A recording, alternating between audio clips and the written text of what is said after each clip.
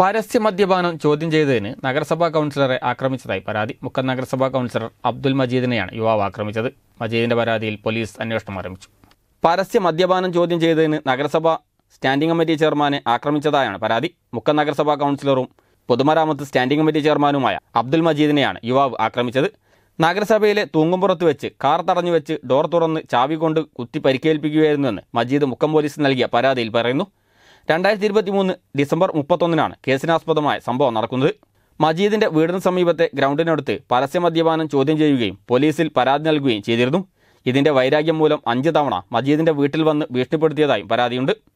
കഴിഞ്ഞ ദിവസം തൂങ്ങുംപുറത്ത് സുഹൃത്തിനെ കാണാൻ ചെന്നപ്പോഴാണ് ആക്രമണം ഉണ്ടായത് നിലവിൽ നമ്മളെ മുക്കം നഗരസഭയിലെ തൂങ്ങുംപുറം ഇരട്ടക്കുളങ്ങര ഭാഗത്ത് ഈ ലഹരി മാഫിയയുടെ ശല്യം ഭയങ്കര രൂക്ഷ.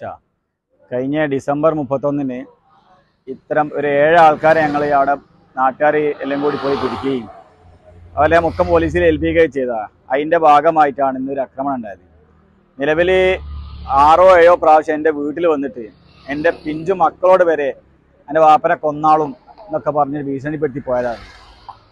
അതുകൊണ്ട് അതുമായിട്ട് ബന്ധപ്പെട്ട് ഞാൻ ഇന്ന് തൂങ്ങമ്പുറത്ത് ഇങ്ങനെ കാറിൽ ഇരിക്കുമ്പോൾ എന്റെ വണ്ടിക്ക് വന്ന് ബ്ലോക്ക് ഇടുകയും കാറ് പിടിച്ചു തുറന്ന് പിടിച്ച് പുറത്തിട്ട് അടിക്കുകയാണ് ചെയ്തത്. പരിക്ക് പറ്റിയ കൈക്ക് ഇങ്ങനെ പൊട്ട ഇതുണ്ട് ചെതവുണ്ട് കാലിന് മുട്ടിന് പരിക്കുണ്ട്. ചാവി കൊണ്ട് വണ്ടീന്റെ ബൈക്കിനെ ചാവി ഊരി കുത്തി പിന്നെ കല്ലെടുത്ത് കാണി കുത്തിയാണ് തൂങ്ങപ്പുറം സ്വദേശി ഷംസീർ എന്നയാൾക്കെതിരെ മജീദ് മുക്കം പോലീസിൽ പരാതി നൽകിയിട്ടുണ്ട്. News bureau Mukkam.